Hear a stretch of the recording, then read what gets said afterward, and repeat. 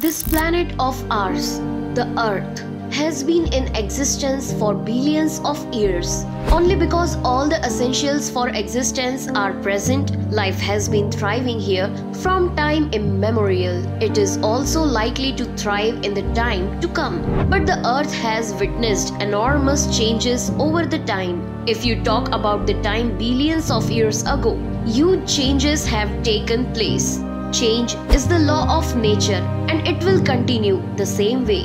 The proofs hidden in the womb of nature reveal the information, and we come to know about the major events which took place in the past. Roaming through the mountain valleys and exploring the oceans and rivers, we came to know how the form and nature of the earth transformed. The entire lifespan of four and a half billion years of the earth was accurately presumed and arrived at with the help of scientific data.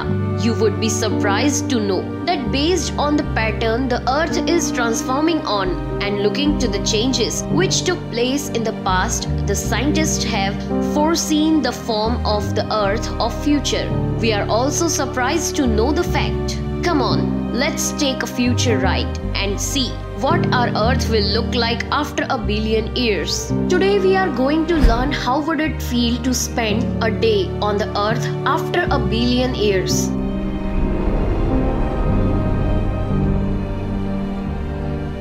1 billion years later, a day on the Earth. The planet is not as it was earlier. It has changed completely. So much so that it is difficult to even breathe here because the oxygen required for breathing has run out. The artificial changes which took place in the past have exhausted the natural gas. Due to hot and poisonous gases, the temperature of the earth has risen to 70 to 80 degrees. Now, Life is not possible here. Only and only barren land all around.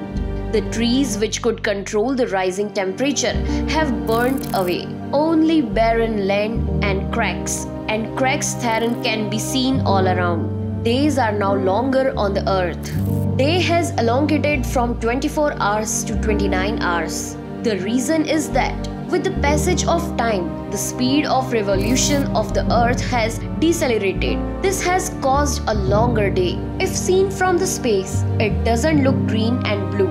It only looks red and brown because greenery is no more there, nor are the oceans over there. What remains is the dry soil and the barren land. This change has taken place because of the rising temperature and harsh glowing of the sun all the water has dried up because of the temperature being 80 to 100 degrees Celsius. The surface, which was full of greenery once upon a time, has turned into a barren planet. The continents on the globe are still visible, but with the passage of time, the shape has changed because of the movement of tectonic plates. They are no more as they were earlier. However, the movement of the tectonic plates has stopped and the continents have stabilized at their respective places. This earth, which was our abode once upon a time, looks very strange now. If we come to this planet as of now, it will feels as if the environment and pressure over here is not at all suitable for us. All the possibilities of life surviving here have exhausted the sky is not blue now in color, but it is grey. All the water has evaporated and humidity is there on the upper surface only. Nothing is visible on the ground except lifeless land and stones. The moon has gone distant from the earth and looks smaller.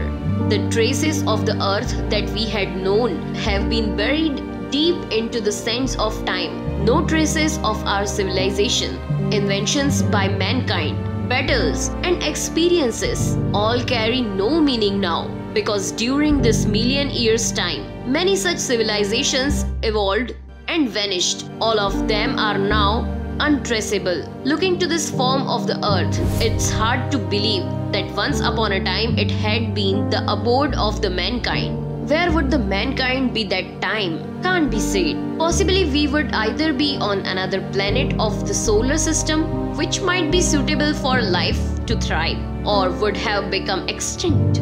We, the mankind, would be in existence or not, but surely, in some or the other form, life would have been breathing again in this solar system. So, friends, that was something about the form and nature of the earth after a billion years. Please do tell us by leaving a comment as to how did you like this video. If you liked it, please share it with your friends. See you in the next video with a new topic. Till then, goodbye from Neha Agarkar.